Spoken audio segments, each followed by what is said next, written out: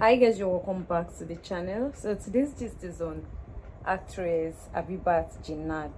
and also um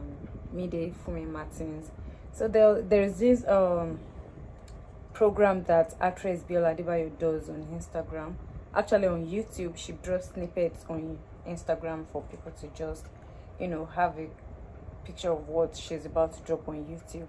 so this time around she brought her she brought um she invited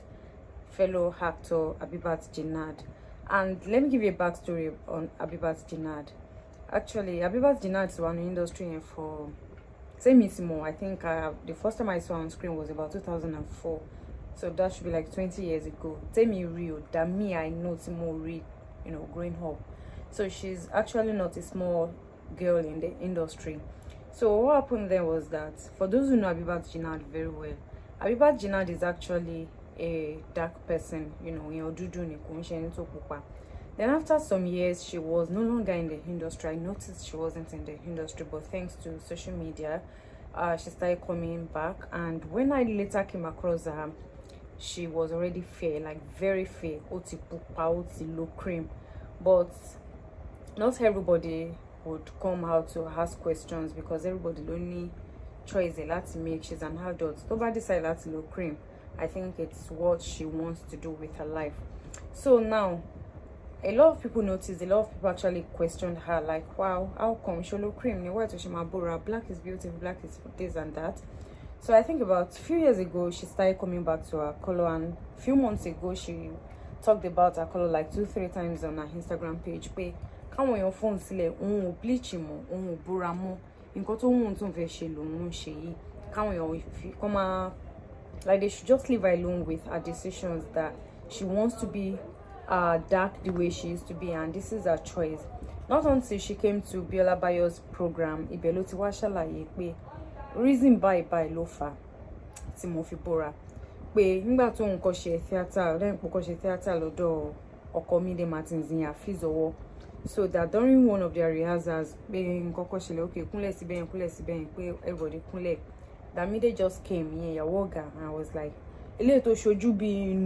náà bi nana mú nǹkan kan bẹ́ẹ̀ yẹn at that moment she had this low self esteem but uh, ṣé bẹ́ẹ̀ ni mo dúdú ni that she said it took her years to even understand the statement pe later to n béèrè lọ́wọ́ pe pé kí ló nana mu àbí nǹkan kan náà sọ fún un pé ọ̀bọ ló ń wípé àtìgbà yẹn lòun ti bẹ̀rẹ̀ sí ní nurse idea pé kó ń bora wípé nígbà tó dẹ̀ yà òun tún fi pé um,